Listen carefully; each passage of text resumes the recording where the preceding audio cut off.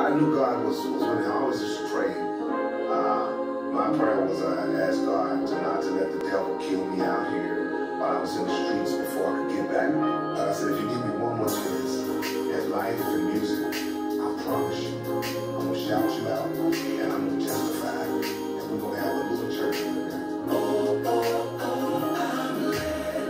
Waking up, thanking God. Every day is feeling